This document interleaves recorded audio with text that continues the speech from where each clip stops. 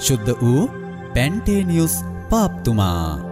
තුන්වන සියවසේදී සභා ව්‍යාප්තියට උරදුන් වීරෝධාර චරිතයක් ලෙස මෙතුමන්ව නම් කළ හැක.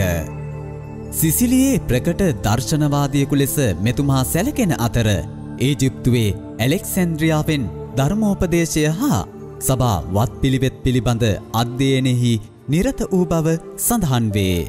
පසුව දේවධර්ම ගුරුකුලයක් ඇති කළ මෙතුමා පෙරදිග පෙදෙස්වල කිතුනුවන් හට ධර්මය ගැඹුරින් හැදෑරීමට මඟ පිළියල කර දෙන ලදී. විශේෂයෙන් මතෙව් සුභාරංචිය විග්‍රහ කිරීමේ පුරෝගාමියකු ලෙසද මෙතුමා හැඳින්වේ. පසුව රෝම රදගුරුදූරයටද මෙතුමා පත් වූ බව සඳහන් වේ.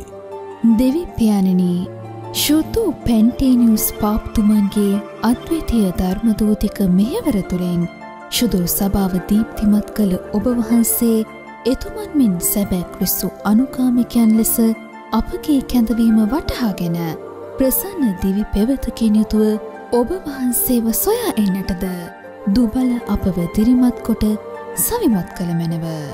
ශුදෝ පැන්ටේනියුස් පාප්තුමිනි අප නිසා යතිනු මැනව.